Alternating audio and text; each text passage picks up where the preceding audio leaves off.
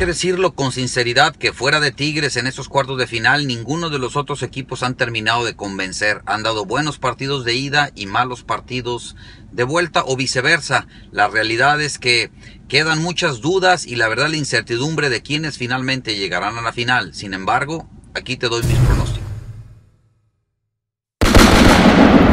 Y arrancamos eh, justamente con la primera semifinal que es Cholos contra Tigres. Cholos, que depende mucho de su condición de local, veremos si es capaz de traerse un buen resultado del volcán. Nada fácil. Por su parte, Tigres, queremos ver si esta cuota goleadora y de buen fútbol la siguen mostrando partido tras partido, en esto que a veces es una inconstante en el fútbol. Aún así veo un partido más cerrado de lo que mucha gente cree y piensa, pero Tigres es mi favorito.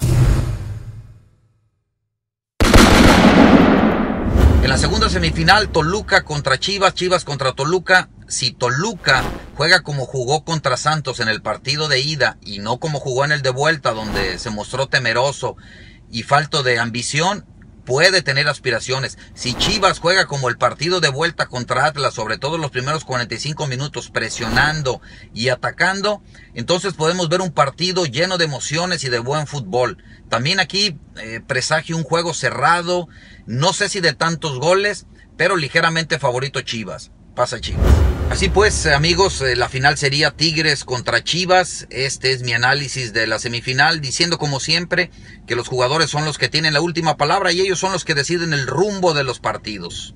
Para Jugo TV, Ramón Ramírez.